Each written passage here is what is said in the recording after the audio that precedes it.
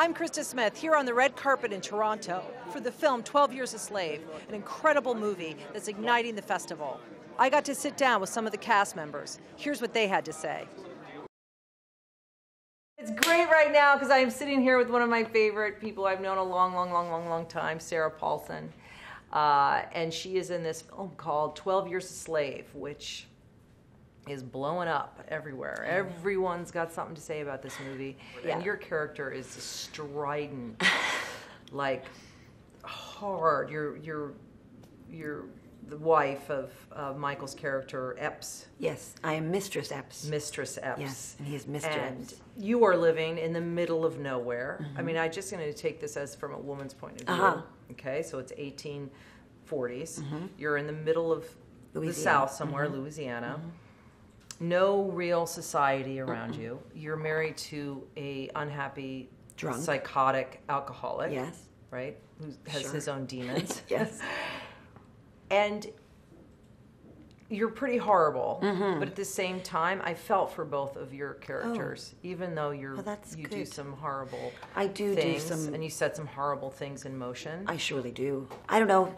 I, I can't apologize for it because I do sort of feel that um, it is necessary to have a character like mine in the movie because it helps to illustrate all of all that um, Chiwetel's character goes through um, and how harrowing that is. And if I kind of soft pedal it or try to find a way to make it go down more easily.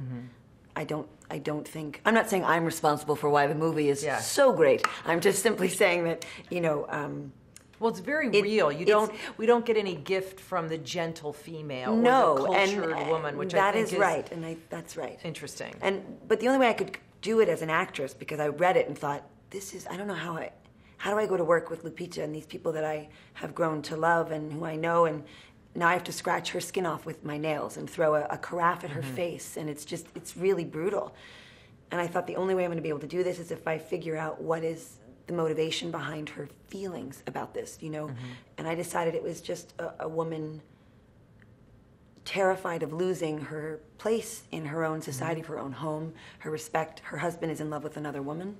Um, and when you're, you're usurped by another person in your marriage, it's terrifying. And if you're a person, which I believe uh, Mistress Epps is, which is a person who lacks a certain amount of depth and self awareness, her panic makes her act in really deplorable ways. And it's not, that I'm not defending her, I'm just saying as an actress, I had to try to figure out a way to get into that headspace and not hate her, because you can't really hate the character you're playing. well how was the whole premiere and experience been here so far Well, it was the first time I saw the movie because I was out of town and I couldn't I couldn't see the screening that they had set up. Um, so I saw it for the first time with a big audience, and it was um, I I had trouble getting out of my seat afterwards. I think I'm in the best movie I've ever seen.